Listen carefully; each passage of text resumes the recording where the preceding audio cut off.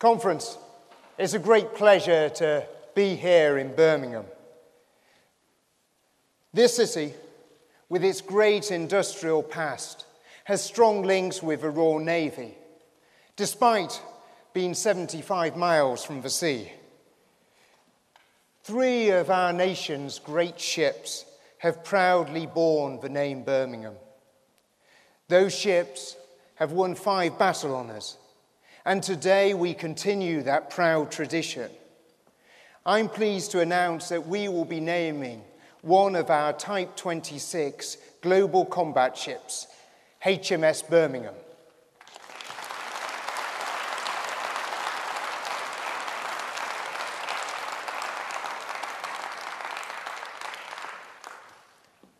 I inherited a Ministry of Defence that had been brilliantly manned by my predecessors, Liam Fox, Philip Hammond, and Sir Michael Fallon.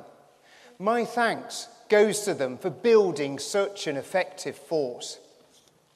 Today, Mark Lancaster, Tobias Ellwood, Stuart Andrew, Freddie Howe, and our PPSs, Will Quince, Jack Lopresti, and Trudy Harrison, are a fantastic defence team. And a special thanks must also go to Philip Dunne MP for the great work that he has done on doing a report about prosperity and defence and how important it is to this country.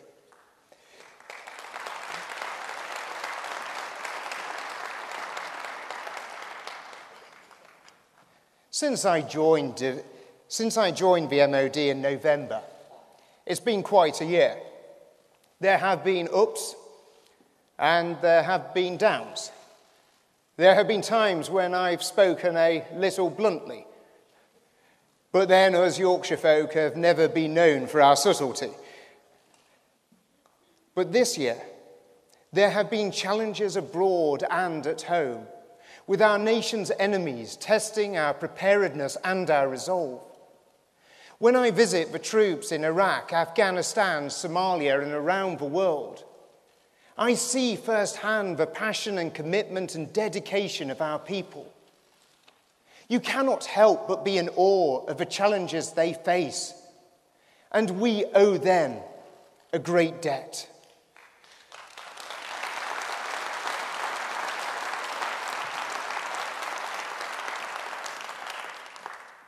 Today, I want to speak to you about caring for those people who have served about the young people who've been inspired by our armed forces, and about what our armed forces are doing every single day to keep us safe at home. As conservatives, we all believe that we should care for everyone in society, especially those who are most vulnerable.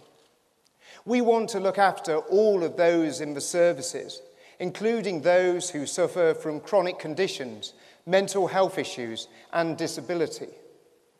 So today, I'm pleased to announce a new support network for them. We want the families and loved ones who support their partner in services to have every chance to succeed. So I'm pleased to announce a new scheme to help service personnel's partners find the jobs that they want. And alongside this, will provide more training and support and educational opportunities for the armed forces. And when the time comes, when the time comes for our people and they choose to move on, we will help them to continue to achieve their true potential. A new veterans transition policy will deliver this. We will help service leavers manage their finances, gain the right qualifications for the workplace, and help them find housing. We will set them up for success because they deserve it. And more than this, we want to celebrate everything that they have done to keep our families and communities safe. So we'll introduce the new Veterans ID card for all service leavers. It'll give them the recognition that they deserve and help them, if ever they need it, to seek support for health housing, or work.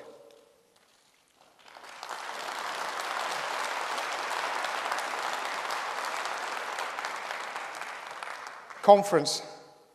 This is about making sure we look after our service personnel from the moment they join, whilst they serve, and after they leave. As conservatives, we understand that everyone should have the opportunity, the opportunity to succeed in life regardless of background or gender. If I can just tell you a little bit about what I mean. Recently, I went to a cadet unit in West Bromwich. The head teacher told me that the young people who had joined the cadets were at first reluctant to wear the naval uniforms at school. Two weeks later, they were all proudly wearing their uniforms. They're proud to belong to something bigger than themselves. On Friday, visiting a local cadet unit here in Birmingham at Aston University Engineering Academy. The young cadet flight sergeant who showed me round said to me that being part of a cadets, being part of a cadets was about being part of a family. He was building friendships, gaining confidence, a sense of adventure, and having fun. And thanks to the Conservatives in government, there are now 170 more cadet units and currently 43,000 cadets in schools.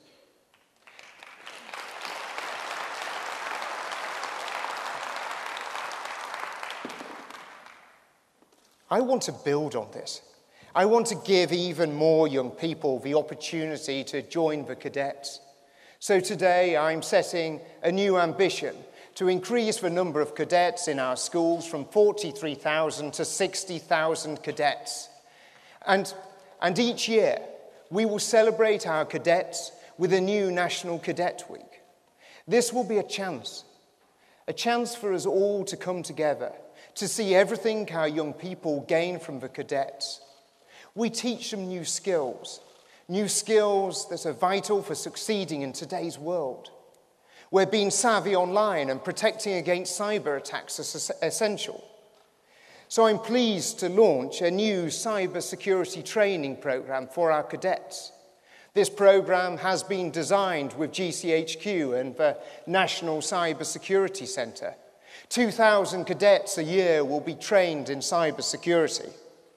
Earlier today, I had a phone call from Brandon, and he said he would like a couple of places for people to be sent on it himself. Um, But, conference, we are doing this because we want to teach our young people the skills, the skills they need to succeed in today's world. This investment in cadets is an investment in the future of our young people, but equally, conference, is an investment in all of our futures. This Conservative Party understands the value of our armed forces more than any other party. It understands that it is they that keep us safe. We know that we have the very best in the world. They can react rapidly, taking the fight to the most capable of enemies, whether by land, sea, air, cyber, or space. They can deploy and use complex weapons and they maintain the ultimate guarantee of our safety, the nuclear deterrent. Every day of every year, our armed forces are serving around the world with 10,000 personnel on 30 different operations in 23 different countries and over 20,000 of our people constantly held at high readiness. We're a leader in NATO where we meet the pledge to spend a minimum of 2% of our GDP on defence. Earlier this year, it was thanks to the Royal Navy that Britain was the first nation to enforce United Nations maritime sanctions against North Korea. We have seen HMS Sutherland and HMS Argyll, alongside our allies, active in promoting global Britain upholding the rules based international order, and protecting our rights to sail in international waters in the South China Sea. For the first time this week, state of the art lightning jet fighters took off from the deck of HMS Queen Elizabeth, the world's most advanced aircraft carrier.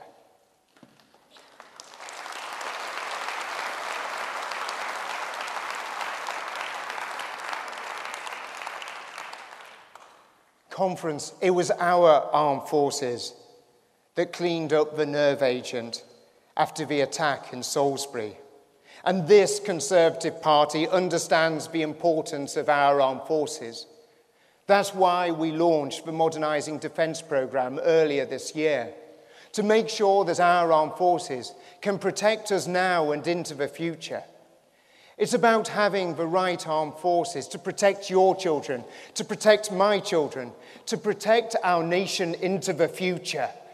And that is why we will continue to invest. This year, we unveiled our new lethal, sophisticated jet fighter concept, Tempest. In March, the Prime Minister committed an extra £600 million to protect our nuclear deterrent. And we continue to invest in our Royal Navy and our Royal Marines. Combined, they have a glorious past seemingly achieving the impossible. Whether that was seizing the Rock of Gibraltar over 300 years ago, or more recently, seizing the Al Peninsula in Iraq. To deliver the seemingly impossible, they need to be able to bring the fight from sea to land. As such, I'm happy to confirm that I will be protecting the vital landing platforms, HMS Albion and HMS Bulwark. We need them.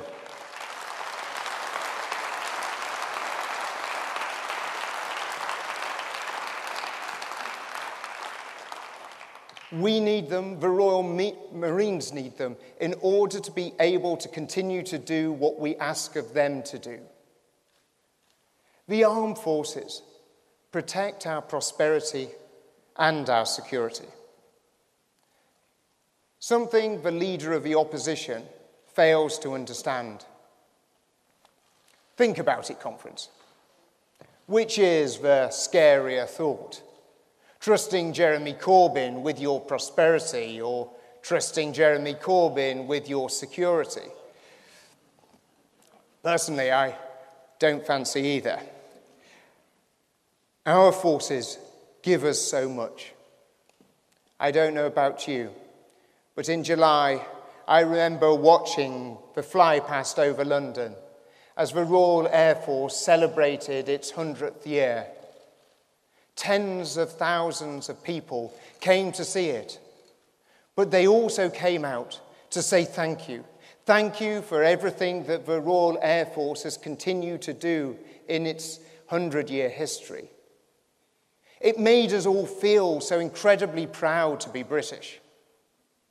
And this year, this year on the 100th anniversary of the Great War, we should remember the sacrifice of those who have paid the ultimate price to give us the freedoms that we enjoy today. It was in the 1980s in the 1980s, where Margaret Thatcher ignited the flame of freedom, liberty, and hope across Eastern Europe. Today, it is our duty to ensure that that flame continues to burn. We have always and will always stand by our friends and NATO allies, as they have so often stood with us in the face of increasing threats. We will not just talk about our values, but we as a nation will defend our values. And we will not let the Kremlin rewrite the outcome of the Cold War. But, conference, let's be clear. The, challenge, the challenges that we face are growing. Iran is increasingly dangerous. North Korea has nuclear weapons. And there is a blurring of boundaries as our enemies operate in the grey zone with cyber attacks and fake news. One of the greatest threats that we face today is Russia. Two weeks ago, I stood on the front line in Ukraine. I saw the devastation caused by Russian artillery shells and missiles as they tried to seize territory which is not theirs. Beyond Ukraine, in the Arctic and high north, Russia is increasing their military presence. As the ice melts, new shipping routes emerge and the significance of a region increases. As highlighted by my colleague Julian Lewis and the Defence Select Committee, we need to protect our national interests. Russia is increasing their military activity in the Arctic, with more submarines operating increasingly under the ice, with ambitions to build over 100 facilities in the Arctic, and with a reopening of old Soviet bases to deal with this. We will be launching our new Defence Arctic strategy. Our Poseidon aircraft submarine hunters based in Lossiemouth will track Russian submarines. They'll keep us safe at home and assist our NATO allies and we will step up our training with our Norwegian friends. With 800 Marines training each year in Norway, our submarines will be operating underneath the ice shelf in support of them, and the Royal Air Force will protect the skies over the Baltic and Iceland. It is our range of cutting edge capabilities that makes Great Britain one of the world's leading military powers. Beyond the high north and Arctic, we must be ready, ready to deal with the threats as they emerge. We're increasing our British points of presence around the globe. We will not close our key facilities in Germany. Instead, we'll keep them open and forward base army units there. This year, in the Gulf, we opened the first naval base east of Suez since the 1960s and we will permanently base mine hunters and one of our frigates there. They are projecting British influence and protecting Britain's interests. They make us a truly global Britain. Conference.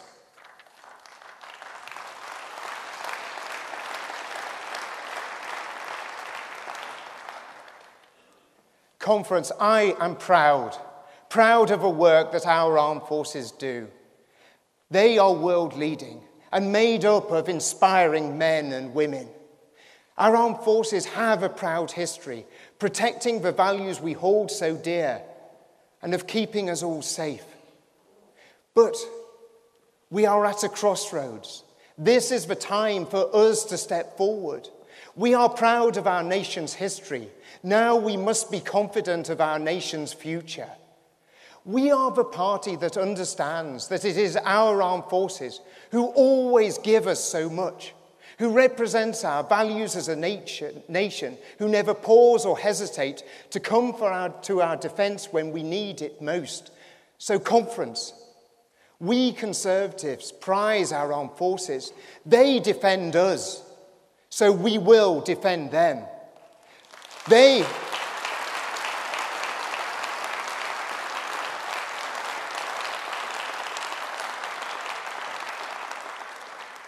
They protect us, so we will protect them. It is the Conservative and Unionist Party that will give Great Britain the confidence, the belief, and the hope to take our nation to ever greater heights. It is us, it is all of us who will build a great and global Britain. Thank you.